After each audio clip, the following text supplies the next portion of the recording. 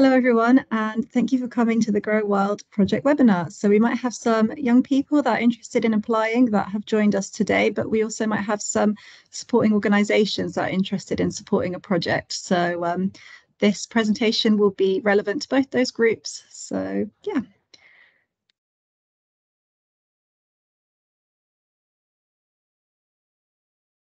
So firstly, an introduction to the Grow Wild team. My name is Gaia. I'm the Grow Wild Engagement and Training Officer, and I'll just let everyone else introduce themselves quickly. Hello everyone, I'm Chloe Booth. I'm the Grow Wild Engagement and Training Manager. Hi everyone, I'm Chloe Agar. I'm the Grow Wild Engagement Assistant. Hi everyone, I'm Robin and I'm the Grow Wild Communications Executive.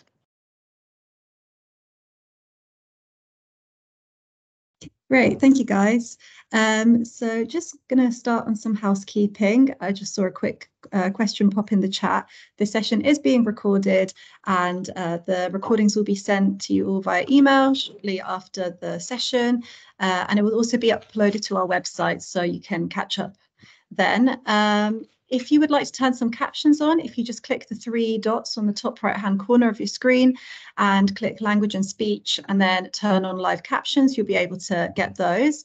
If you would like to submit a question, please use the Q&A function that's on the top of the screen. Uh, we will answer as many questions as we can, and if we can't answer any, we will follow it up with an email.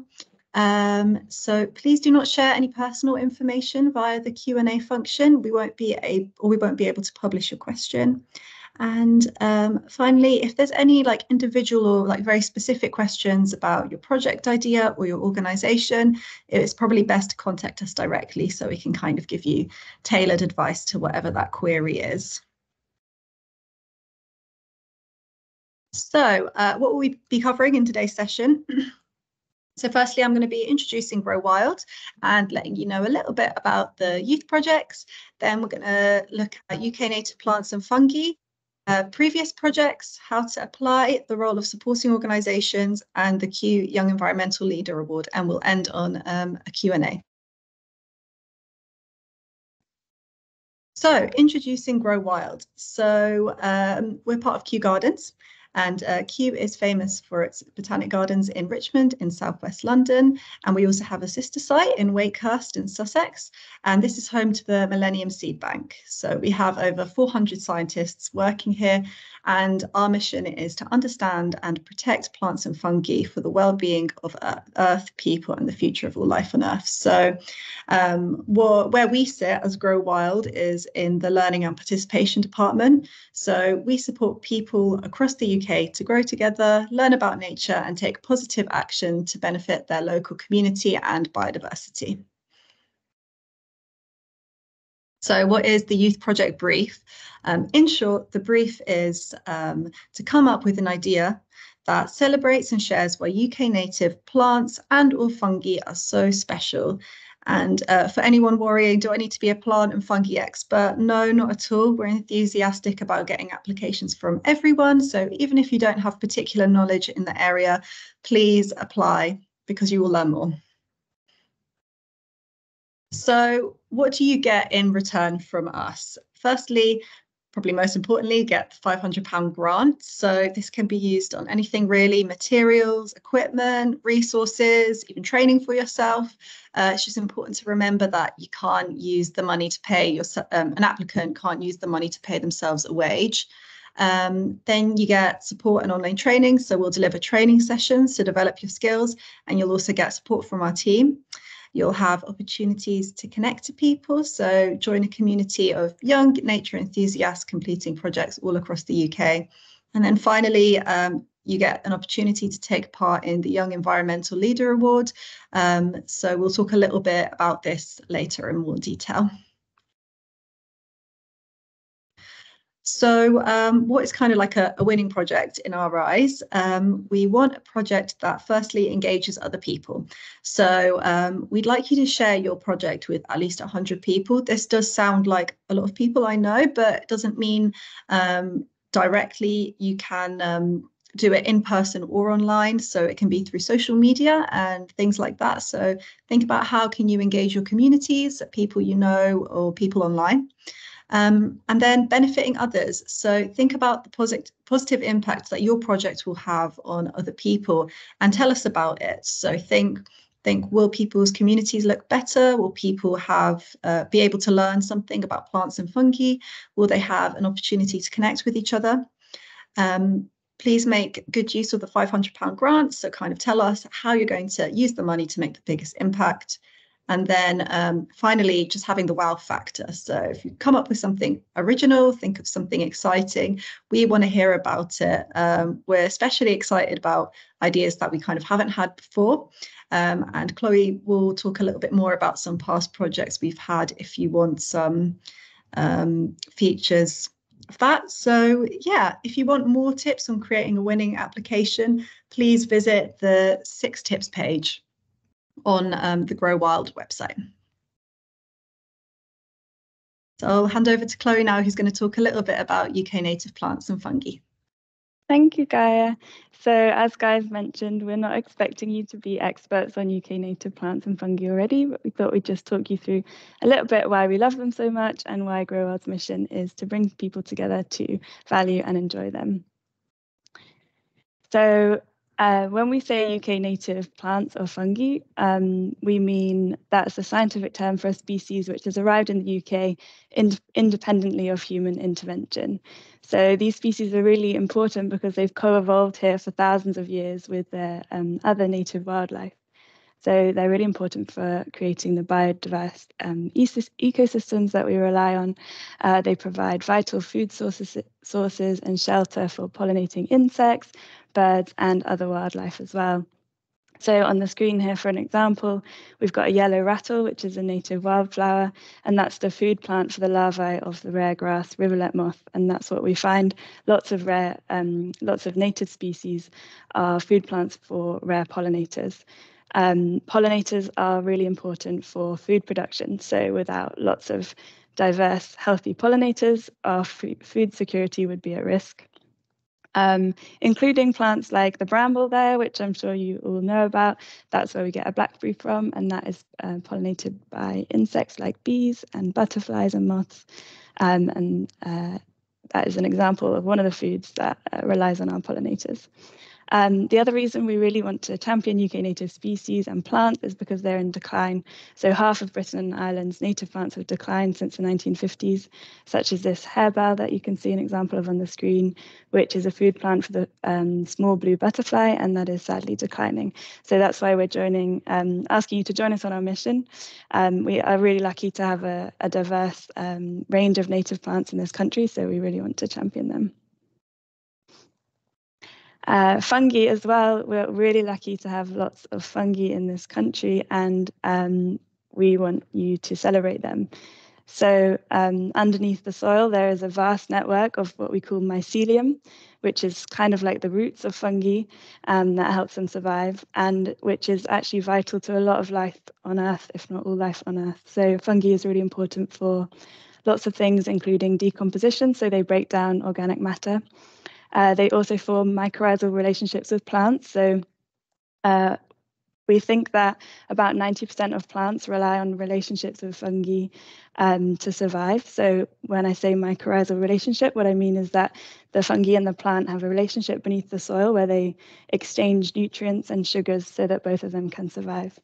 Um, fungi is also really important for soil health um, and stability. It's also an amazing food source for us and for lots of different animals.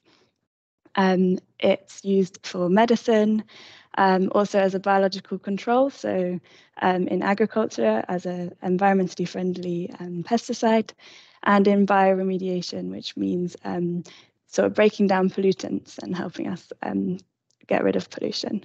So there are over 15,000 species of fungi in the UK, which is amazing. Um, I'm sure you've seen some of them. There's some examples here.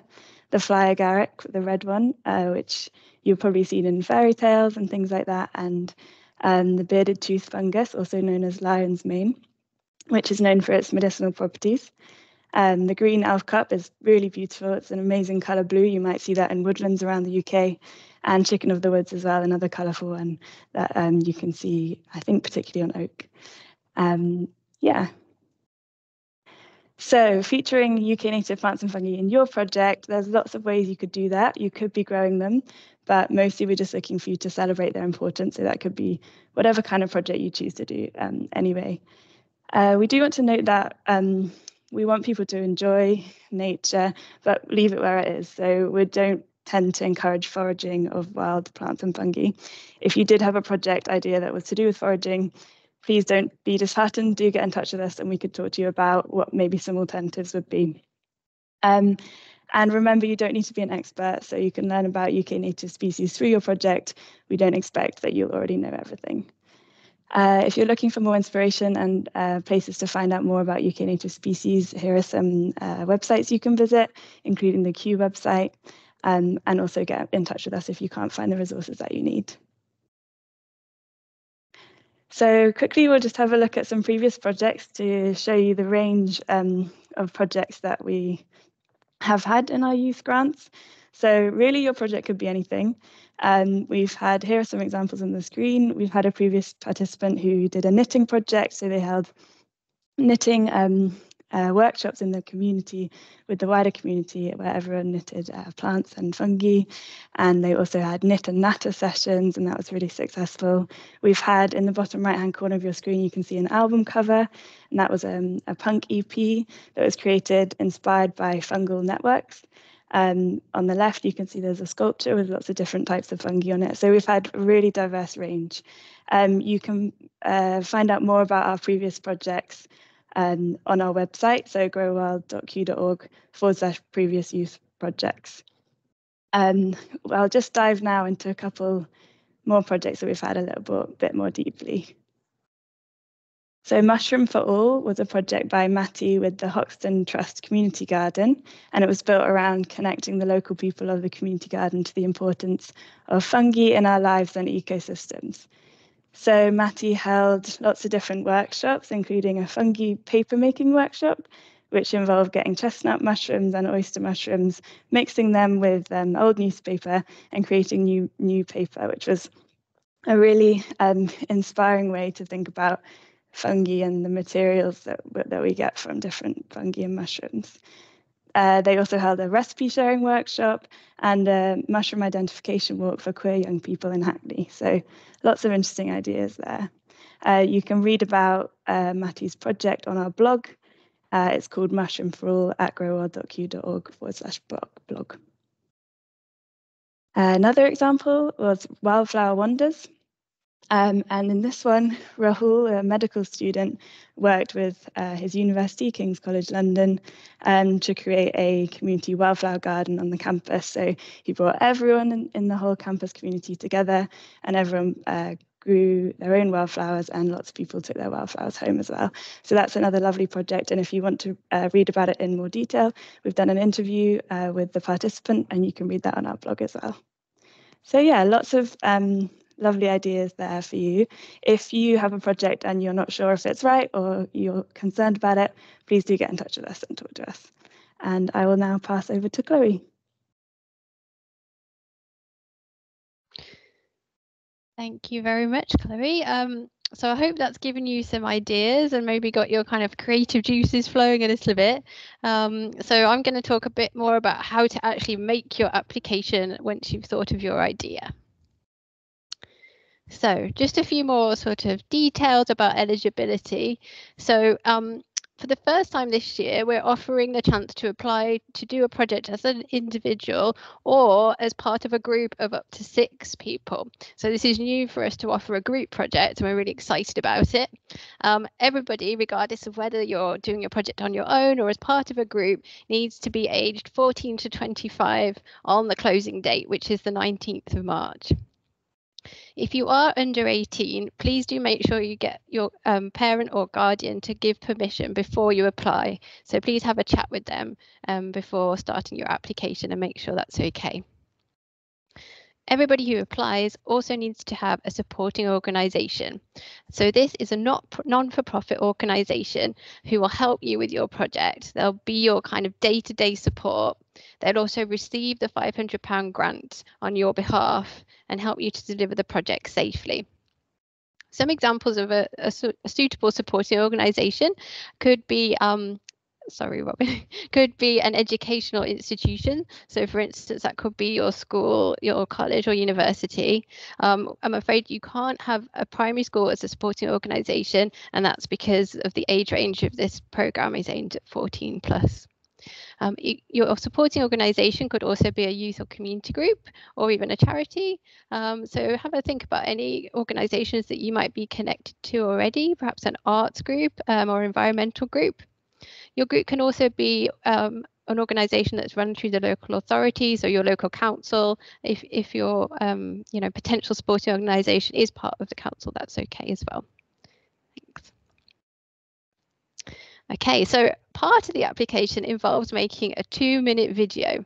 So I'm just going to run through some of the ingredients that we would really like you to include in your video.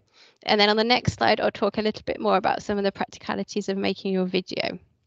So we really want you to tell us all about your project idea. That's the main thing. So we really want to be excited by what you're presenting. So tell us what you'll do um, and why you want to do it. If you can come up with a catchy name for your project, that's always great. And if you're completing your project as part of a team, you could have a team name too. So have a think about that. We'd really like you to tell us how you'll use the £500. So you don't have to go into huge detail. We're not looking for, you know, a really detailed budget here, but just to tell us the sorts of things you'd like to buy or pay for. Um, we know things can change in future, so don't worry if you're not entirely sure of the cost of some of, some of the things at this point, but just give us an idea of how you'd like to use the money. Please tell us who will be involved in your project. So who will you be working with? Will there be other people in your community that hopefully you're going to be inspiring through your project? Who will benefit? And is there anybody in particular that's going to help you, maybe aside from your supporting organisation, uh, perhaps an expert you'd like to talk to? Um, if there's anybody like that, please tell us about it. We'd also like to know where you'll be doing your project. So if you've got a particular space in mind for doing it, a venue, um, I don't know, a local park, somewhere that you've got in mind, please tell us where that will be um, so we understand a bit more about how, where you'll be doing your activities and um, the sorts of activities you'll be doing there. And finally, but very importantly, following on from what we've just been learning about, um, please do tell us how your project will celebrate UK native plants and or fungi. So don't worry, you don't have to try and cover off both if you don't want to. You could pick plants or fungi, um, but please tell us how you'll be celebrating them. Thanks, Robin. So, okay, that's some of the ingredients, but as you're thinking about making your video, here's a bit more about some of the sort of practicalities of it. Um, so we really don't want you to be intimidated about making a film. Um, we really just want something really simple. Um, you don't need any fancy equipment. Just recording on a smartphone is absolutely fine. We're really interested in your ideas much more than your filmmaking skills if you don't want to be on camera and you know we appreciate that not everybody wants to be that's absolutely fine too so you don't have to be in the video other examples of things you could do involve maybe filming your project space and talking about your ideas, um, or maybe filming something that inspires your project. You could provide a voiceover or even some subtitles if you prefer. Um, so think about those things that inspire you, where you'd like to do it, or who you'd want to be involved. Um, another thing you can do, building on that, is perhaps interview some other members of your group or your wider community and ask them to share why they're interested in the project or why they think it would be a good idea. If you like making slideshows, so for example, making a PowerPoint, um, you could do one of those with images and then record that. So either with a voiceover or some captions.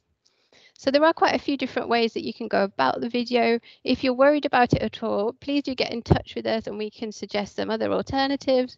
And also if, if making video is very difficult for you for specific access needs, that's absolutely fine. Please contact us and um, we'll support you to make your application in a different way if you are sorry, Robin, let's go back one. If you are making um, a video featuring people, um, please do make sure that you get consent from them. So everybody featured needs to give consent to be filmed and for and to understand that the video will be shared with us at Kew. And if anybody is under 18, you must make sure that their parent or guardian has given consent for them to take part. Once you've finished your video, um, you'll share it with us via our application form, which is on our website. We don't ask you to actually upload the video file itself. Um, we'd like you to include a link to your video, please. Um, some of the ways you can go about creating a link for your video might be through uploading it to YouTube or Vimeo first. Um, if you do decide to do that, please just check the privacy settings, um, and that's to make sure it's not discoverable by anybody else if you don't want it to be, and also just to make sure that you know we can actually access it. Um, so perhaps get a friend to help you with testing the video link.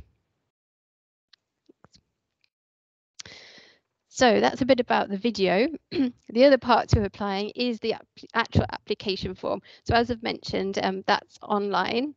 Um, within the form, you'll be asked to provide your contact details and also those of the person who's your designated um, contact at your supporting organisation. So we suggest having them on hand or in contact when you're applying so that you can make sure you've got all the information you need from them. It's important that you and your supporting organisation can be contactable by Grow Wild throughout the summer. Um, and if you've got any sort of big sort of chunks of time when you know you're going to be away, for instance, a holiday, um, it's really important that you let us know um, so we, we, we know how to reach you. If you're applying as a group, um, we'll ask you to nominate one person to be your group representative. So they'll be the main point of contact for us for your group, and they'll also be um, involved in signing some of the paperwork along with your supporting organisation. Um, you'll also need to provide in the application form the names and dates of birth of everybody else in your group. So before you get started on the form, just make sure they're really up for it and they're happy for you to include that information. Once you've made your application, you'll receive an email to let you know if you've been successful or not by the end of April. So please keep an eye on your emails. Thank you, Robin. Okay, so um, as Gaia sort of said at the start, we know we might have a mix of people joining the session today, so potentially some applicants and also some organisations thinking of supporting applicants. So in this section, we're going to talk a little bit more about the role of the, the supporting organisation, um, particularly for those who are thinking of maybe helping some young people. So we talked a little bit already about what sorts of organisations can support um, our projects. Um, do check out our website because we've got a full breakdown on there in our guidance of everything that you need to consider to make sure that you are eligible. Um, but the important thing to remember is that we can only have non-profit organisations um, as a supporting organisation. We also need um, the organisation to have a bank account. Um, that's important because we need to be able to pay the grant. Um, we don't pay the grant to the young person directly. It goes to the supporting organisation so that they can help them with spending the grant. Um, so you do need to have a bank account in the name of your organisation and we need to we need a named individual at your organization. So it's important to think about whether you've got somebody with the time to support the project during during the summer. It, we run until the end of october. So we need to have somebody in your organization who's available to help the group or the young person in that time the amount of support a young person or group may need could vary hugely. Um, so it's really important that you discuss it together before applying to make sure you're all clear about what will be um, required and the sort of support that young person or group might need. We quite often get asked whether supporting organisations can assist with several projects, and yes, you, you definitely can. So if you've got several young people who'd like to run projects or several groups, um, they can all apply and name you as their supporting organisation, as long as their projects are distinctly different. Um, if they want to do very similar things, and we suggest sort of combining them as um, one group application. Um, if they want to do different things, then yes, you definitely can support multiple young people. Thank you. Okay, and a little bit more. Um, so again, responsibility to support the organisation, the planning and application stage, as we've just mentioned, um, do discuss the project idea and what's involved before kind of getting further down the line. Um, sometimes applicants need the young applicants need a little bit of guidance around what's a realistic project to complete within the period. Um, again, this depends a little bit on their sort of age or experience. Um, so we, we do ask the supporting organisation to provide some guidance when making the application um, so that it's a realistic project. If the project is successful, you'll receive the grant money, you'll be supporting with the project delivery. Um, and the other important aspect is around health and safety and safeguarding. Um, so we do ask that um, supporting organisations have the policies and procedures in place, uh, the staff and um, volunteers to receive the training um, to really make sure that the young person or group can complete their project safely. If your uh, application is successful, we do ask for some documents to be sent to us. So this is after the application has been um, sort of submitted and um, chosen, uh, we'll be in touch with you and ask you to send us um, some some documents. These include a copy of your safeguarding policy and procedures, a copy of your constitution or an equivalent document that really just explains your organisation's purpose um, and what what you're all about um, and evidence of your bank account. So we just need to make sure that the, the bank details that you share with us match the name of your organisation. Um, and these are just some final eligibility checks that we'll do um, prior to paying the grant. If your organisation is going to be working with under 18s um, or vulnerable adults, or you know that the project is going to be engaging those audiences, um, then we, we do ask that you really support around this, uh, particularly uh, making sure that any under 18s who want to apply um, participate in a project, be in the video, have all got parental and guardian, guardian consent in place. And also, we, we do ask that as your under your role as a supporting organisation, that you safeguard any under 18s or vulnerable adults during the project activities. Um, so this this includes, as we mentioned, making sure that staff and volunteers have had appropriate training, have had um, DBS checks if required, um, and that activities are supervised where needed. If you're supporting an application from a young person or a group with additional needs, then we really encourage you to contact us. Um, we can suggest lots of ways to tailor the application so it's um, sort of appropriate for them. And also we can discuss the best way to communicate uh, with the project applicants and you during the project so they have the best experience. Thank you. Okay, I'm going to hand over to Gaia, who's going to talk a little bit about the Young Environmental Leader Award. Thank you, Chloe. Um, yes, so I'm just going to talk a little bit about the Young Environmental Leader Award that Kew offers. Uh, we like to call it Yellow because that's a little bit easier. Um, so this is an award that recognises your leadership skills and demonstrates and that you demonstrate doing a Grow Wild youth project. So it is optional, but we really recommend that anyone doing a youth project should sign up because it's a fantastic opportunity to get an accredited award from Kew. So uh, what you have to do uh, essentially, the award explores nine leadership qualities, and you'll have to demonstrate your you develop these by submitting some plans and some reflections of how things went during your project. So uh, you can do the award individually, or if you've signed up to um, the youth projects as part of a group, you can do it with your group as well. And um, why do it? Essentially it's designed to complement your youth project. So this means that you've already done the hard bit by completing your youth project. So you might as well do that little bit extra and get the Young Environmental Leader Award. Uh, you'll be supported by us through online training and with resources, and you will hopefully have developed your leadership skills as well. And um, finally, it's just a great opportunity to have recognition from Kew on your CV or portfolio. So um, yeah, that's a bit about the Young Environmental Leader Award. In terms of any questions, um, please obviously pop them in the Q&A chat uh, or chat, um, as I'm sure you have been throughout the webinar. But also, if you have more specific questions, um, please contact us um, either via email or by phone. Our email is hellogrowwild at kew.org, and um, we're available to answer the phone Monday to Friday, 9 to 5. So please get in touch. We're a very friendly team. I'm going to hand over to Robin now, who's going to um, take us through the Q&A questions. Thank you very much, everyone, for um, talking through the presentation there, and thank you, Gaia. Um, so there were a few questions that were pre-submitted um, when people registered for the webinar. So I'm just going to run through some of um, the answers that we've got.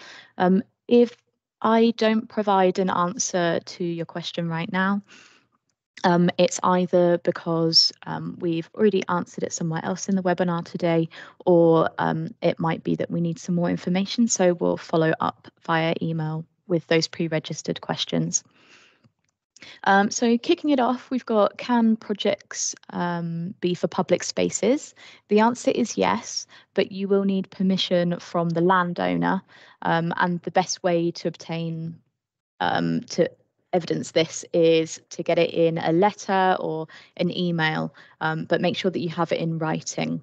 Um, although we won't ask you to submit this as part of your application form, uh, we may need to ask to see this at some point in the project um, or just in case anything goes wrong. So um, please make sure that you have a copy of that.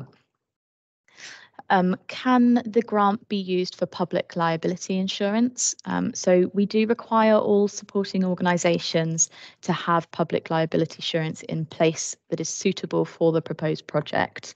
Um, if you have any further questions around this, please get in touch, um, send us an email or give us a ring. The details are um, on the screen at the moment. Um, and we can provide you with some more specific advice if um, if that hasn't fully answered it for you. Um, so we've got some questions about the budget. So how does the management of the budget work? Um, money will be sent to the supporting organisation um, and ideally the um, applicant, the young person, the group, um, they will then create a shopping list essentially of all of the things that they um, require for their project and um, then the supporting organisation will pay for it directly. Um, we've just found that that is the best and safest and most accessible way of um, making sure that all of the applicants can have access to the funds.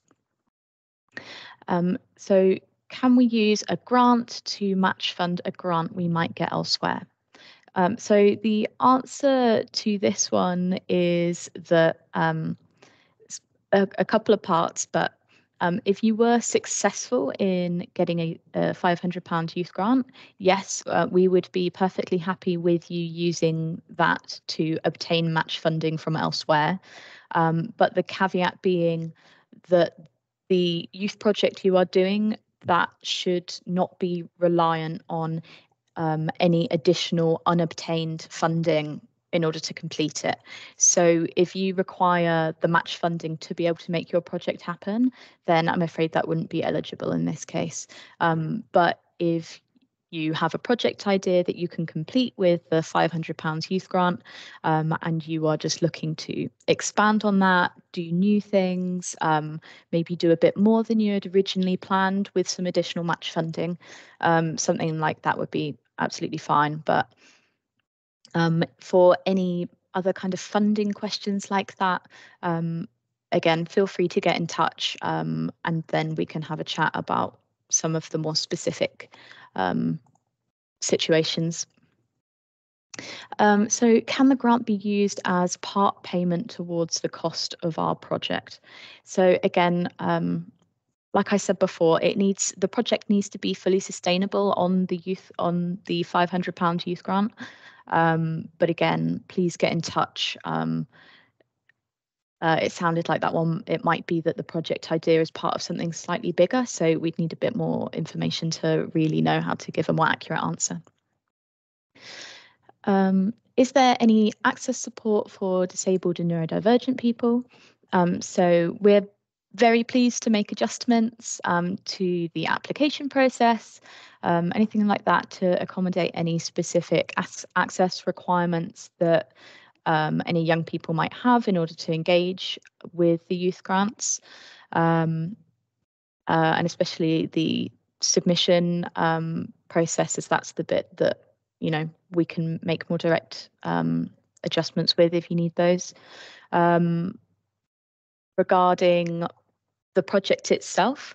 Um, obviously, we are open to a full range of ideas. So, um, whatever your project idea is, if that um, works for you and that works for the needs that you have or um, any particular ways of working that you have, that is also absolutely fine. And that's part of the reason that we have the supporting organisation um, system in place so that there is someone um, there kind of a bit more on the ground that you can have more regular contact with to support you um, with any other things that you might need.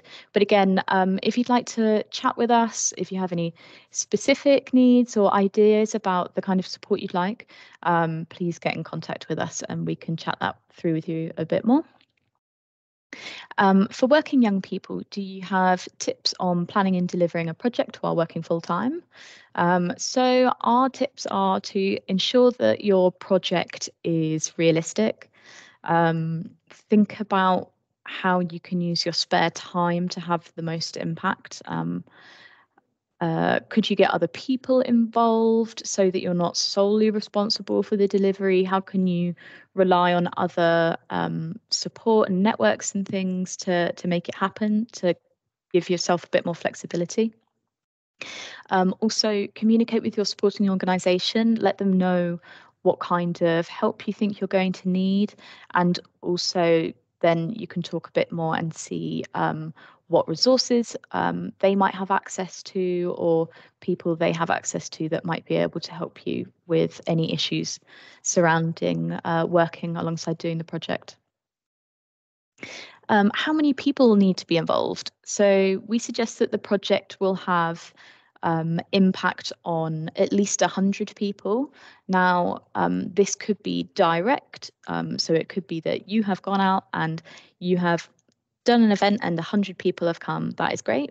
But also, that could be indirect. It could be that you're um, creating something um, like a film or some resources that are then shared amongst people. Um, you know, there are lots of different ways that we can measure impact. Um, so please don't be too intimidated um, by that number. And again, if you are concerned about that at all, you can chat to us and your supporting organisation about that, and we can um, see if there's any advice we can give you on making that happen. Um, there's a question here, can the supporting organisation be a CIC? And I might need to just hand over to Chloe Booth for that one. Hello. Um, yes, that's absolutely fine. CICs are eligible to apply as a supporting organisation.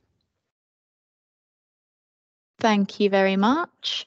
Um, and then there's just a few more questions that have come through in the chat. So we've got, um, can the project be located anywhere in the UK? And yep, the answer is yes.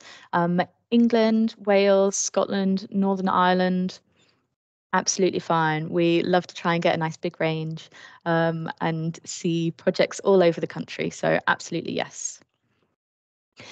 Um, and let me just have a double check of the Q&A.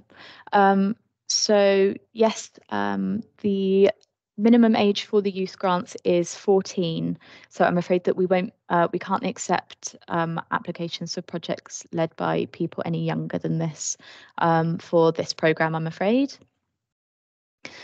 Um, we have a question about signage. So, as a supporting organisation, we would be interested in creating some sort of permanent display or signage to go around the site. Um, would this be possible as they are a visitor attraction, but still a non-profit? Um, it may be that I. My initial thoughts are that if this is about the project that you are running, um, that that would be okay. But I think that's something where it would be useful for us to talk a bit further and see um, exactly what you're thinking. So yeah, please get in touch with us about that one, and we can work out some of the um, some of the details to give you an, a more accurate response to that one. Um, and then um, we have a question, can an application be made by the supporting organisation?